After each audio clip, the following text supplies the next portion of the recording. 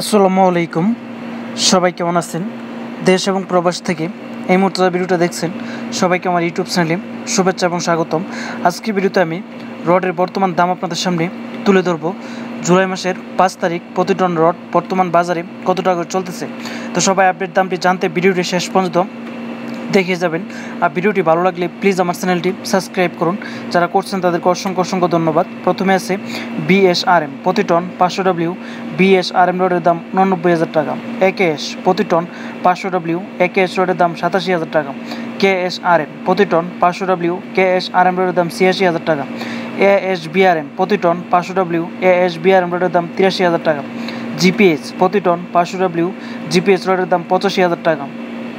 S S R M প্রতি ton পাঁচশো W S S R M রোডের দাম তিরাশি হাজার টাকা।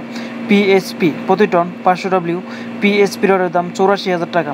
আনোয়ার ইস্পাত প্রতি টন পাঁচশো ডাব্লিউ আনোয়ার ইস্পাত রোডের দাম পঁচাশি হাজার টাকা। তো বিওয়াস ভিডিওটি ভালো লাগলে প্লিজ আমার চ্যানেলটি সাবস্ক্রাইব করুন। যারা করছেন তাদেরকে অসংখ্য অসংখ্য ধন্যবাদ। আর আপনারা রড কতটা কিনেন প্লিজ কমেন্ট করে জানাবেন। সবাই ভালো